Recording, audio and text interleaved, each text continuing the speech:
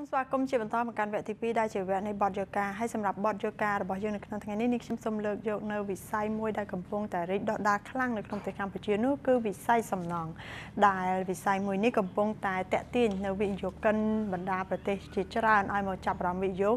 នៅក្នុងប្រទេសកម្ពុជាយ៉ាងណាមិញកូរ៉េកំពុងតែធ្វើការប្រកួតប្រជែងជុំវិញនៅវិស័យសំណង់នៅក្នុងប្រទេសកម្ពុជាសូមអញ្ជើញតាមដានទស្សនានៅបទយកានេះជាមួយនឹងលោកឈៀននេះដូចតទៅ តាមរយៈទីភ្នាក់ងារជំរុញពាណិជ្ជកម្មនិងវិនិយោគកូរ៉េហៅថាកូត្រានៅថ្ងៃទី20ខែមិថុនាឆ្នាំ2019នេះ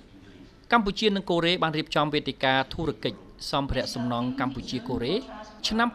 2019ជាលើកដំបូង Cambodia Korea Construction Roadshow 2019ដែលគ្រប់គ្រងដោយសមាគមសំណង់កម្ពុជា CCA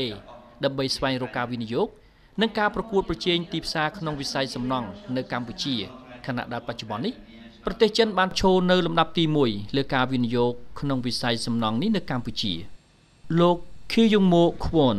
តំណាងទីភ្នាក់ងារជំរុញពាណិជ្ជកម្មនិងវិនិយោគកូរ៉េកូត្រាបានដឹងថានេះគឺជាការរៀបចំលើកទី1ដែលលោកជឿជាក់ថាវេទិកានេះនឹងតាក់ទាញក្រុមហ៊ុនកូរ៉េផ្នែកគ្រឿងសំណង់ដែលមានបច្ចេកវិទ្យានិងស្តង់ដារខ្ពស់ចូលមកវិនិយោគនៅកម្ពុជា There's a lot of Korean company already participate but what we heard តើទៅនឹងកម្មវិធីហ្នឹងគាត់ចង់តាក់ទាញក្រុមហ៊ុនកូរ៉េផ្នែកខាងគ្រឿងសំណង់ជាពិសេសក្រុមហ៊ុនដែលគេថាមានស្តង់ដារខ្ពស់ហើយនឹងជាក្រុមហ៊ុនដែលផលិតគ្រឿងសំណង់ដែលមានគុណភាពខ្ពស់មកស្រុកខ្មែរហើយតាមពិតនេះគឺជាគម្រោងទី1ដោយសារតែខែខែមិនិនាយើងបានចុះ MOU ជាមួយខាងសមាគមអ្នកសាងសង់ណាហើយបន្ទាប់ពីការចុះ MOU មកគម្រោងនេះគឺជាគម្រោងទី1ដែលតាក់ទងទៅនឹង MOU ហើយយើងមានគម្រោងនឹងលើកកម្ពស់សហកិច្ចសហប្រតិបត្តិការរវាងវិស័យសំណង់រវាងក្រុមហ៊ុនកូរ៉េនិងខ្មែរហើយលើកនេះត្រឹមតែផ្នែកខាងគ្រឿងសំណង់ទេប៉ុន្តែទៅថ្ងៃអនាគត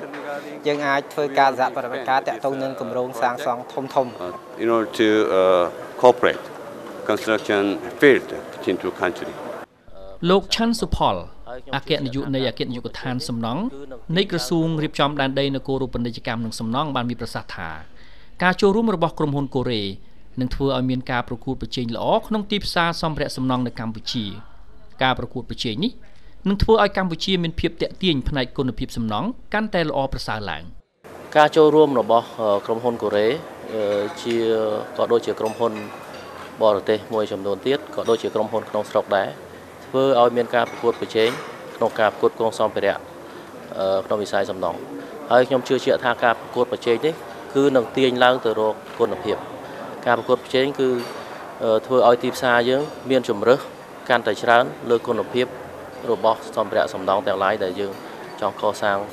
ផ្ទះឬអគារនៅពេលអនាគតតាមរយៈវេទិកាធុរកិច្ចនេះបណ្ដាក្រុមហ៊ុនគុតគង់សម្ភារៈសំណង់របស់កូរ៉េដែលមានចំនួនប្រមាណ25ក្រុមហ៊ុន បានមកចូលរួមនិងបានបង្ហាញពីផលិតផលនានារបស់ខ្លួន ដើម្បីអាចមានឱកាសទទួលបានចំណែកទីផ្សារនិងស្វែងរកចាប់ដៃគូសហប្រតិបត្តិការលើវិស័យផ្គត់ផ្គង់គ្រឿងសំណង់ស្របពេលដែលវិស័យសំណង់នៅកម្ពុជាកំពុងមានសន្ទុះរីកចម្រើនខ្លាំងបើធៀបនឹងបណ្ដាប្រទេសមួយចំនួនក្នុងតំបន់លោក Bill San នាយកក្រុមហ៊ុន Smart Seal ដែលផ្ដោតលើផលិតផលជម្រាបទឹកសម្រាប់សំណង់អាគារគ្រប់ប្រភេទមកពីប្រទេសកូរ៉េខាងត្បូងបានលើកឡើងថា មូលហេតុដែលលោកមកចូលរួមក្នុងវេទិកាធុរកិច្ចសម្ភារៈសំណង់នៅកម្ពុជានេះដោយសារតែលោកមើលឃើញពីការរីកចម្រើនយ៉ាងឆាប់រហ័សនៃវិស័យសំណង់និងអចលនទ្រព្យរបស់ប្រទេសកម្ពុជាលោកបានបង្ហាញភាពជឿជាក់ថាការរីកចម្រើនយ៉ាងឆាប់រហ័សនេះនឹងធ្វើឲ្យមានតម្រូវការនៃការផ្គត់ផ្គង់សម្ភារៈសំណង់កើនឡើង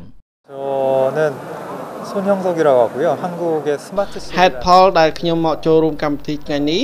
ដោយសារខ្ញុំបានឃើញប្រទេសខ្មែរ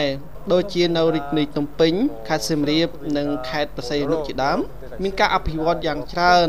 ហើយម្យ៉ាងវិញទៀតខ្ញុំមើលឃើញថា មានការសាងសង់សំណង់អគារជាច្រើននៅទីនេះមួយវិញទៀតកម្ពុជាស្ថិតនៅប្រទេសអាស៊ីអាគ្នេយ៍ជាតំបន់មានភ្លៀងធ្លាក់ជាច្រើនតែធ្វើឲ្យមានសំណើមជាច្រើនផងដែរនៅតាមផ្នែកខ្លះនៃអាគារអាចជ្រាបទឹកកាលណាយើងសាងសង់អាគារអ្វីមួយ ចាំបាច់ណាត្រូវតែមានការប្រើប្រាស់នៅថ្នាំជំរាបទឹក ដើម្បីការពារអាគារកុំឲ្យជ្រាបទឹក ដោយសារមើលឃើញពីតម្រូវការទាំងនេះហើយ បានជាខ្ញុំសម្រេចចិត្តមកប្រទេសកម្ពុជា ដើម្បីចូលរួមក្នុងកម្មវិធីធុរកិច្ចសម្ភារៈសំណង់កម្ពុជា និងកូរ៉េដែលរៀបចំជាលើកដំបូង ដែលជាឱកាសរបស់ខ្ញុំក្នុងការបង្ហាញនៅផលិតផលតាមជំរាបទឹករបស់កូរ៉េដែលមានបច្ចេកវិទ្យាទំនើបនិងស្តង់ដារដល់អ្នកវិនិយោគនៅស្រុកខ្មែរហើយខ្ញុំក៏មានបំណងផ្សាយលក់សហការជាមួយក្រុមហ៊ុនក្នុងស្រុកផងដែរដើម្បីចាប់ដៃគូគ្នាក្នុងការពង្រីកទីផ្សារនិងផ្គត់ផ្គង់សម្ភារៈសំណង់ដែលមានគុណភាពរេនៅកម្ពុជា 제품을 개발해서 공급해 줄 거예요. ប្រទេសកូរ៉េមានបច្ចេកវិទ្យាខ្ពស់នៅពេលដែលក្រុមហ៊ុនកូរ៉េមកវិនិយោគនៅកម្ពុជាក្រៅពីទទួលបានផលប្រយោជន៍និងចំណូលបន្ថែមលើផ្នែកសេដ្ឋកិច្ចប្រទេសកម្ពុជាក៏ទទួលបាននូវចំណេះដឹងថ្មីៗបន្ថែមទៀតពីវិស័យសំណង់មួយនេះសម្រាប់អនាគតគិតពីឆ្នាំ1996ដល់ខែមករាឆ្នាំ2019នេះការវិនិយោគរបស់កូរ៉េខាងត្បូងនៅកម្ពុជា មានចំនួនប្រមាណជាង200គម្រោងជាមួយនឹងទំហំទឹកប្រាក់ប្រមាណជា 4កណ្ដកសញ្ញា47,000លានដុល្លារអាមេរិកបច្ចុប្បន្ននេះក្រុមហ៊ុនកូរ៉េដែលកំពុងវិនិយោគនិងកំពុងប្រតិបត្តិការនៅកម្ពុជានឹងបានចុះបញ្ជីផ្លូវការមានចំនួនជាង40ក្រុមហ៊ុននេះបើយោងតាមទីភ្នាក់ងារជំរុញពាណិជ្ជកម្មនិងវិនិយោគកូរ៉េកូត្រា